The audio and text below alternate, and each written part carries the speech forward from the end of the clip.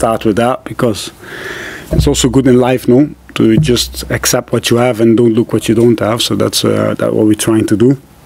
Uh, it brought us success in the past, so uh, we try to keep that up, and I I feel really happy with that uh, because uh, Cruyff said a long time ago. I'm not even sure if it was Cruyff, but in Holland you say like every disadvantage has its advantage. So with a few injuries, you get young mdogo katika michuano ya Carabao Cup wa Liverpool Football Club, na huyu ni golikipa namba tatu wa kikosi cha Ametengeneza historia kwa kuisaidia timu yake kuweza uh, kutoa kombe hilo la uh, Carabao Cup katika mchezo dhidi ya Chelsea Football Club. Performance ya hali ya juu performance ya hali ya juu kwelikweli, ambayo imeisaidia na imefanya Liverpool Football Club kuibuka kuwa washindi wa kombe la Carabao Cup, wakichakaza vikali uh, Chelsea Football Club. Story si eh, kuchukua kombe eh, Liverpool. Story kubwa ni aina ya wachezaji ambao wamecheza na wamekompiti na wachezaji wa Chelsea, wachezaji wadogo kabisa, watoto wa shule wameweza kuigaragaza vikali Chelsea Football Club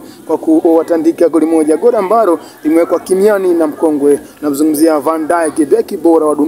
Hapa namzungumzia kati ya mmoja kati ya mabeki ambao wanafanya kazi nzuri na iliyotukuka kwelikweli pale maeneo ya Liverpool Football Club nchini Uingereza. Hapa bwana mdogo kocha moja kati no, bwana mdogo uh, golikipa anazungumza namna ya hugumu